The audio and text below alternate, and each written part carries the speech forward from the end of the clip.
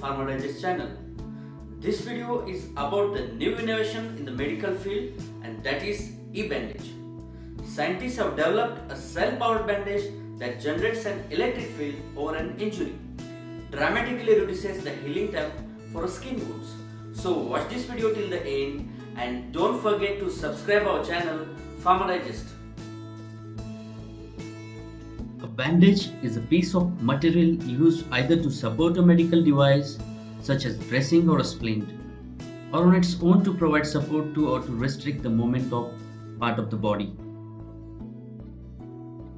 Bandages are available in a wide range of types. In American English, the word bandage is often used to indicate a small gauze dressing attached to an adhesive bandage. Researchers have developed a self-powered bandage that generates an electric field over an injury, dramatically reduces the healing time for skin wounds. Wounds covered by electric bandage or e-bandage closed within 3 days compared with 12 days for control bandage with no electric field showed the findings published in journal ACS Nano. Researchers Weibo Cai and Xudong Wang from University of Wisconsin-Madison in the United States and their colleagues wanted to develop a flexible self-powered bandage that could convert skin movements into a therapeutic electric field. To power their e-bandage, the researchers made a wearable nanogenerator by overlapping sheets of polytetrafluoroethylene, copper foil, and polyethylene terephthalate.